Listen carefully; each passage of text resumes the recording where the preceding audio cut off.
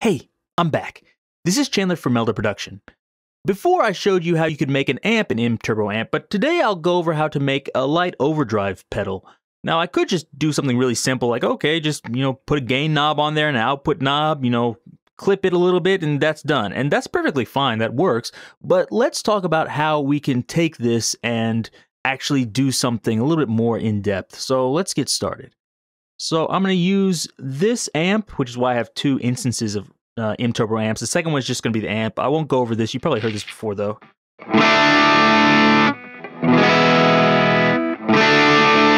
See here, there's a good amount of gain, but you might still want to push this a little bit farther, depending on what type of music you're doing. Or you might just want like a little of boost for like a solo or something. Who knows? You might want to tighten it up. So I'll show you how to do that.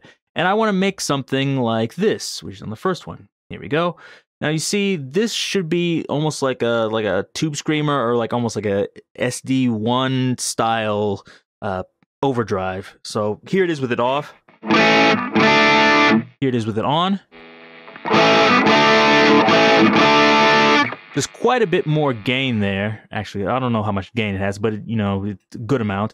But also, if you listen to the low end here, and then turn it on, it should tighten it up a bit. This amp itself that I'm using actually is a bit tight so you can't hear it, but if you use it with something else, you'll hear like that kind of low hump and mid emphasis really, you know, tightens things up if you're going to play like metal or something like that. So let's go over like how to make something similar to this. So I'm going to start here with A. We don't have anything in here. The first thing I want to do is I just want to go to the input EQ and let's just roll off some of the low end. Uh, you use 12 uh, you know decibels per octave or 24. It doesn't really matter. Uh, I'm not going to cut off too much that you can hear. I just want to get rid of the stuff that you can't hear with a guitar. So like 40 hertz, like there's not going to be like any guitar stuff down there. So I'm going to cut that off. I could do the same thing with the top end if you want, or I can kind of leave it. Uh, maybe I'll cut it down a little. Let's try like 8,000. So if I'm getting any radio signals or something through there, it won't come through. Although hopefully there's no radio signals coming through my computer, but who knows. Uh, we have our distortion section here. Before we get into any of this setup, let's set up the gain knob. Before when I did it, I was going down and up, but you can just go up, and I'll do it this time just to show you how it's done. Uh, you can go, you know, negative gain and positive gain, or just positive gain. It doesn't really matter that much. Uh, one thing I should do is actually make sure it's not bypassed. Ooh. Sorry, turn my guitar volume down so you're not hearing that much. Actually, let me cut this out altogether. Um, so now we have the gain in and let's move it up to uh, 25 or so. Okay, that seems like a good amount. I'll label it gain and just group this and like call it OD for overdrive. So now you see that moves up and down. It starts at 12, pretty good. Uh, this one, actually, let's use this as our volume. I'm going to use gain out instead of volume, although you could use the volume if you wanted to. Go down, up, so that'll give us, oh, which one did I do? Uh, is it here? Yeah, there we go. Volume, OD, put it in the same row. And this is like negative 40 and 40, which to me is a little bit too much. So I'm going to do negative 20. Actually, I'll do negative 30. Negative 30 and 30. So that way we can actually push the gain quite a lot, or not the gain, the volume quite a lot into the amp if we want to, but like 50 or 60, that, that seems a bit much. And last thing, let's get to our tone control. So there's a few ways we can do this. Uh, what I'll probably do is take this and move the high pass and low pass like this. Let's see here. Learn, move this back and forth and move this back and forth. So now I have high pass and low pass, put in the same row, label it tone, OD, and I'll have it going from max, let's try 10,000 kilohertz, and minimum maybe 1,000, like this.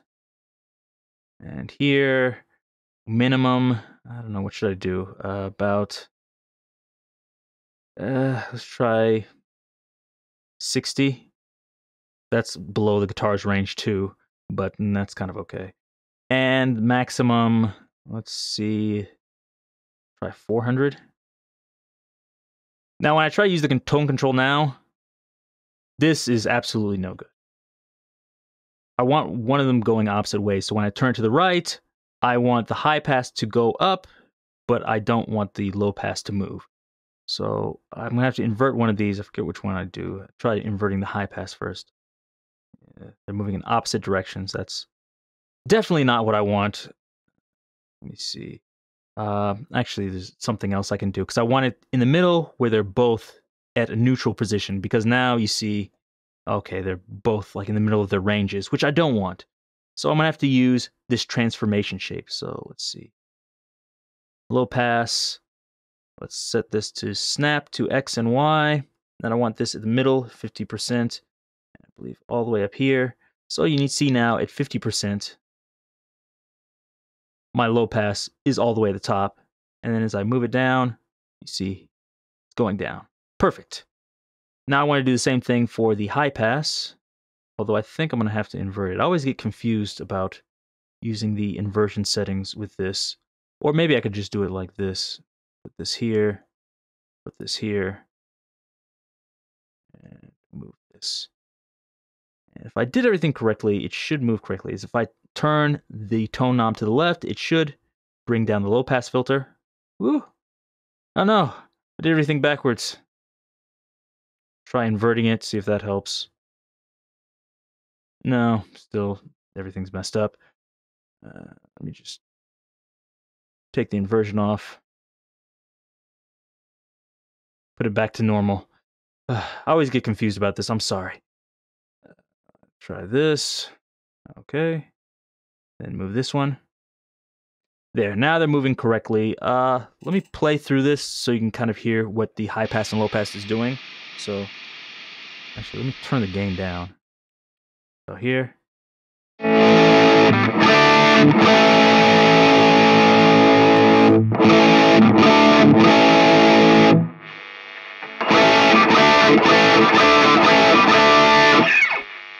And for me, I think you know what? I don't really like the sweep of that, and it's not going down far enough. So instead of a thousand, actually, let's try 24 decibel per octave, like that.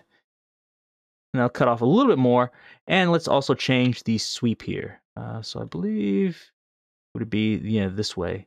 So it comes on a little bit faster. This means instead of going linearly from 10,000 to 1,000, it'll kind of go a little bit faster here and then kind of slow down at the end. And I'll do the same thing here, although I think it might be in reverse. 50%, that's 51, that's okay though. That, that. So here we go.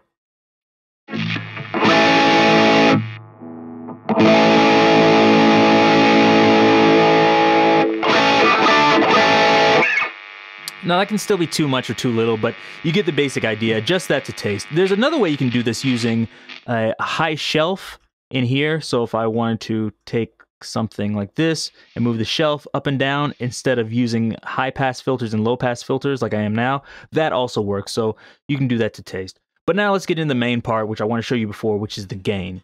I'm going to use three gain stages here. I'll turn on all three. And now this is probably a bit too much. Uh, what I'm going to do here is I'm going to take this second stage and set it to clip three, which will be really loud. And you're probably thinking like, what are you doing? This is crazy. This is, you know, nothing like uh, a low gain overdrive, but just stick with me. Next thing I'm going to do is just turn this completely off, completely disabled. And you're probably thinking, okay, this is a little bit crazy now. And let's change this to, let's say, clip four or so. What I'm going to do here is I'm going to just turn this off and I'm going to work with stage two. What stage two is going to do is it's going to shape the sound and give it that mid range hump. I'm going to take the high pass filter and switch it to 6 decibels per octave. I'm going to switch the low pass filter also to 6 decibels per octave. What I want to do now is I want to move this up to around 740, 750, 720, someplace between 700 and 750. Let's try 720. You can set this wherever you want. And let's set the low pass to 800. You're thinking like, whoa, this is really doing a lot. This is going to cut off a lot of the single a signal and make it really mid-rangey, like this. Turn this one off. If I take them both off here, it sounds like this.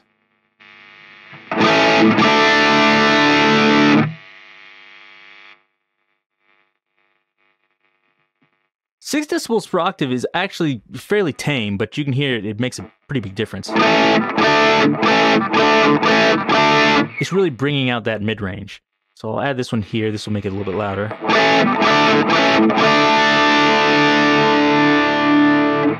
Actually, let's switch amps for a second just so I can hear how much distortion is in here. So this is kind of important. Like for this one, because it's already distorted, it's hard to hear a difference. So let's do this one and bypass it. This should be completely clean. This amp's clean. So now when I put this on, pretty good. Turn the gain up. Oh, way too loud.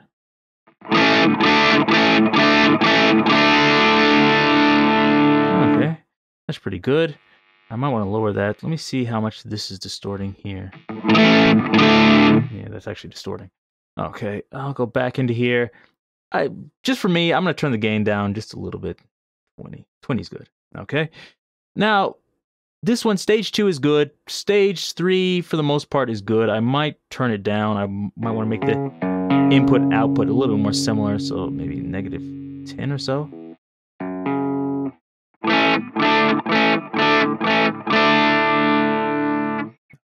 Now, the next part is stage one. You're wondering, like, why did you disable it? It's not doing anything. What I want to do is I want to make a parallel path. And you're like, what, what are you talking about? This button here in stage two, this will make stage two run in parallel to stage one. So the first thing I want to do is I want to make sure the, I want to check the volume of this. So I'm just going to hit a note. I'll try to hit it, you know, the same every time. It's probably better if I recorded this actually, but I'll just do it this way anyways. Make sure I clear this here and I'm going to look here and try to match the volumes. I'm getting like 2.6, maybe a little bit lower. I might turn the gain down so I can do this without clipping.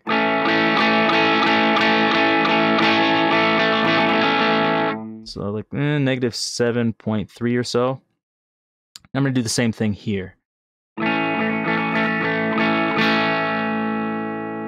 Okay, so it's peaking at like negative 10, so let's add like 3 decibels or so. Okay. I just want to make sure the volumes are matched. Now I'm going to click this parallel, and now both of these should have the same volume going into here, and...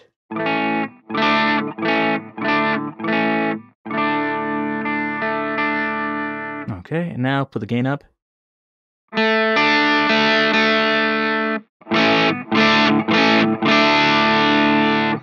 There we go. That's what we want. If we bypass it, uh, or I can even put a bypass switch on here, just click learn, turn that on and off.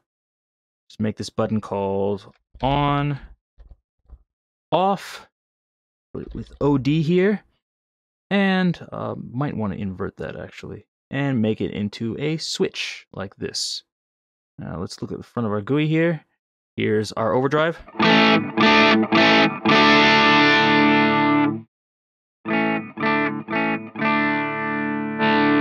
Turn up the gain.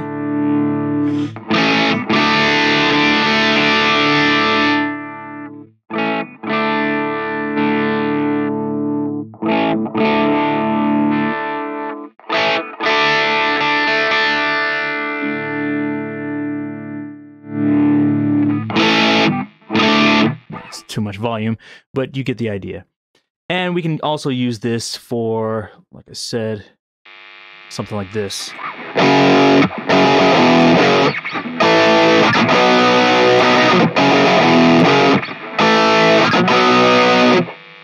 As opposed to off. You can really see it not only adds more distortion, but it also is, you know, really cutting the lows and making it much brighter. So that's how you can make, you know, something similar. If you want uh, this one, I added some other things, like I had a fat boost as well as the normal one. So this is normal. This is fat.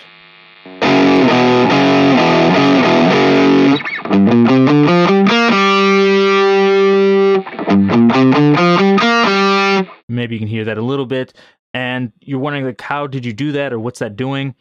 The only difference is in the distortion stage here, you see here I have 715 for the normal. Fat, it's 320.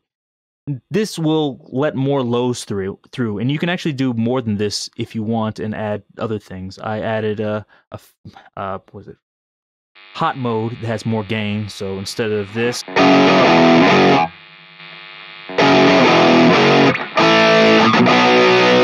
All I did was alter the type of clipping here. So you see it's clip 2 as opposed to soft 3. And I think I added more gain someplace. Or maybe I just changed the HP filter.